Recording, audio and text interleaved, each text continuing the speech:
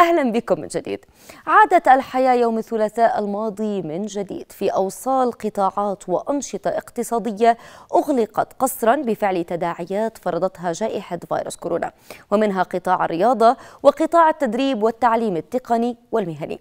وسيسمح بتقديم الأرجيلة في الساحات الخارجية بالمطاعم والمقاهي اعتبارا من منتصف شهر حزيران المقبل. وسط هذه القرارات تأمل الأسرة الأردنية والكادر التعليمي باتخاذ قرارات بعودة التعليم الوجاهي وتستعد الوزارة فعليا لذلك.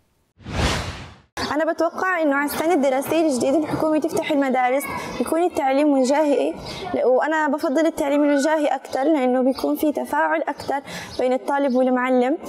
بيكون في تواصل أكثر بتوصل المعلومة بشكل أسرع وأحسن. وبيكون التفاعل كثير منيح بين الطالب والمعلم بالغرفة الصفية عندي بنات في المدرسة بفضل الدراسة الوجاهية على الدراسة الإلكترونية أكيد.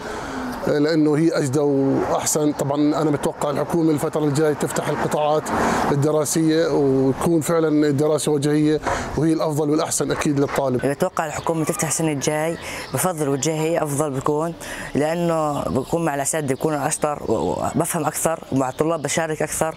غير هيك يعني وجاهي أفضل من أي شيء أفضل من التعليم عن بعد. إن شاء الله إنها تفتح أحسن لأنه التعليم عن الوجاهي بكون أفضل من التعليم اللي عن بعد لأنه التعليم اللي عن وجاهي بكون أحسن وأفضل للطلاب وأحسن.